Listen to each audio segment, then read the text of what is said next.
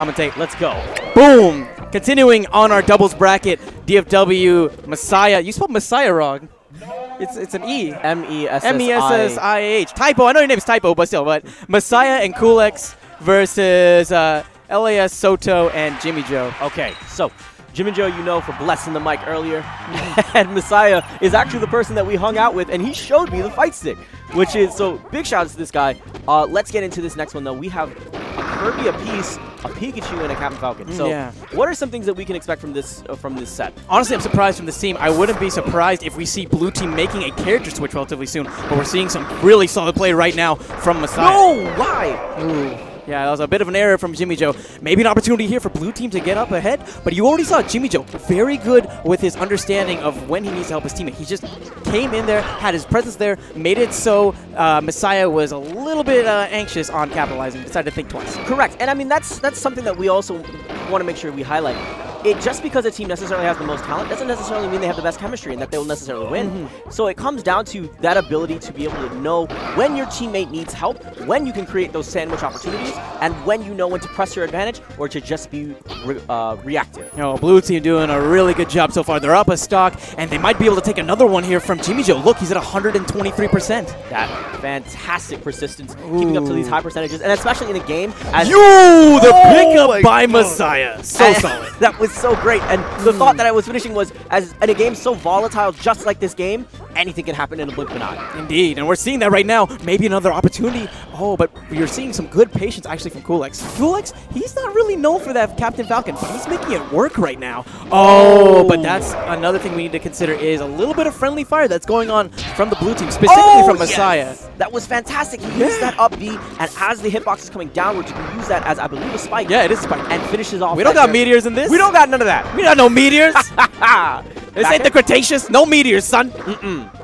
Okay. Shout outs to the science nerds that got that one. Yo, Jurassic World, let's go. No, seriously, can we go like after this? Oh, yeah, that'd be really nice. Hype. Let's go ahead. Okay, take it. Anyways, getting back into the match. Nice pickup from Soto. Very good awareness with that spike. Just barely touches him. That's all you really need to do. So I want to talk a little bit about the, the mentality that comes into teams and why you would pick Captain Falcon in this kind of a team setup. You have Kirby who has a great amount of recovery there, and you have Falcon who has a ton of kill option and kill potential, um, and great uh, ability to cover the stage itself. Yeah, he's good. I, he believe, I believe he has the fastest dash speed in the game, which means that he can get from place to place very quickly.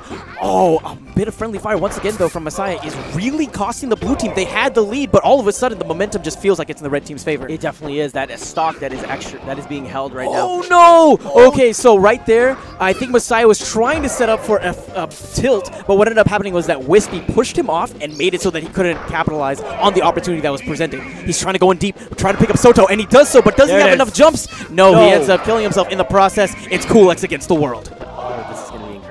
You have one stock you have to take out four. This is going to be if, if he makes this, this Uh, is comeback material. This is GR Smash better be watching material. No, man, it's really hard. The one thing that he has going for him is the fact that Captain Falcon has that touch of death on Pikachu. And uh, I'm pretty sure that Culex is better at dealing with Pikachu than I am, because I hate dealing with Pikachu. Kirby, on the other hand, one of Falcon's demons. Falcon, lackluster recovery, and what He's does done. Kirby capitalize on? Edge guarding and getting some stylish kills like that. Well played by Soto and Jimmy Joe, taking game one with the comeback. That was fantastic, and it, because of the choice character selection there, you saw that very uh, that gap between the two of them just broadened that much more. Mhm. You had two characters between Kirby and Pikachu who have fantastic recoveries in this game.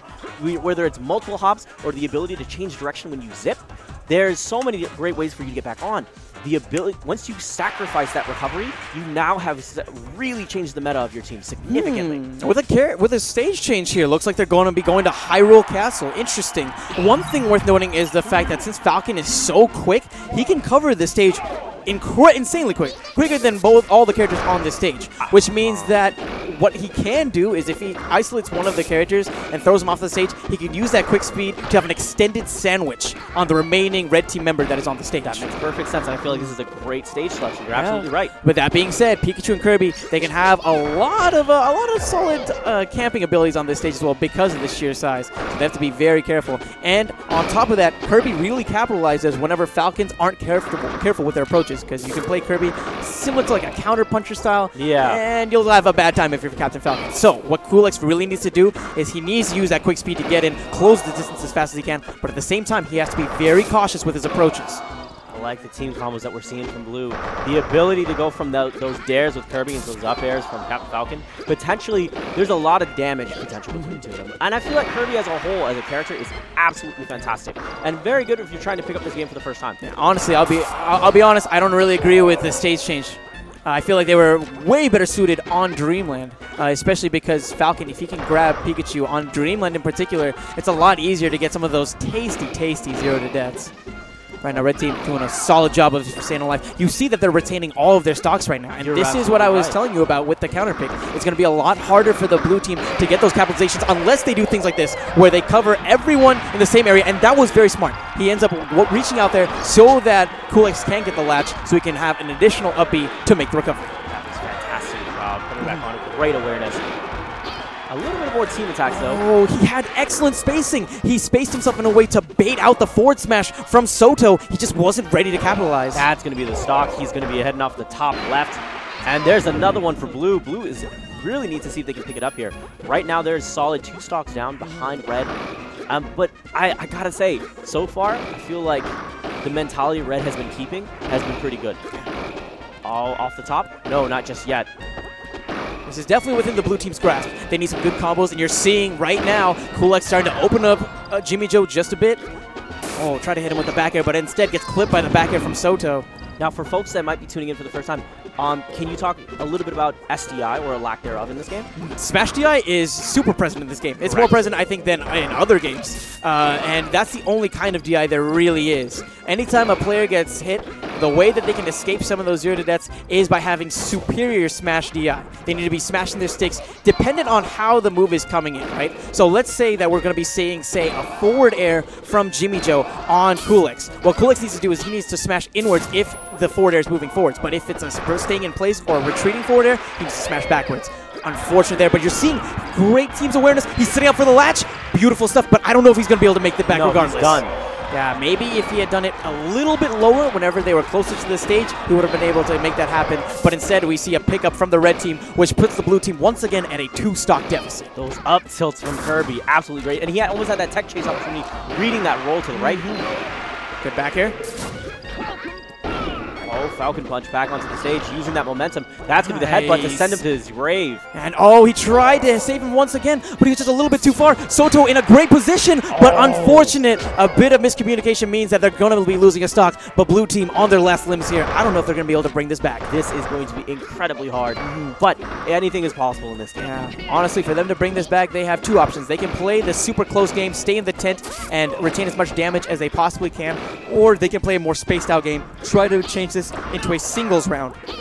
Or like four player singles, essentially, right? Yeah, correct. Uh, oh, no. I just don't know how that would work out, to be honest. I feel like Culex, he doesn't often play Captain Falcon. His Captain Falcon is no slouch, but he's more known for his Fox and for his Jigglypuff. So I don't know how he'd do, especially if he's going to be paired up against Soto, as we're seeing now.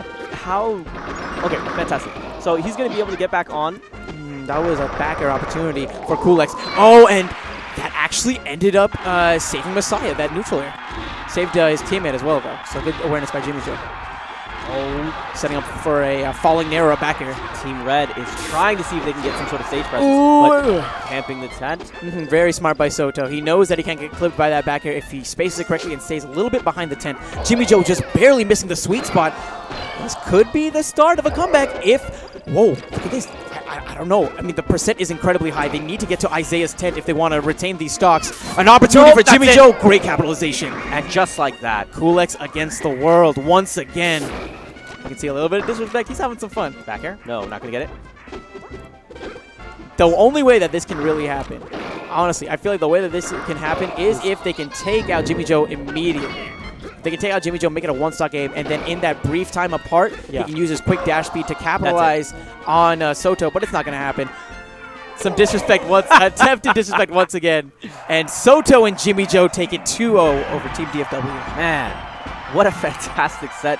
But it really goes to show that you can, you really need to be mindful at character select and understand exactly what you're getting yourself into.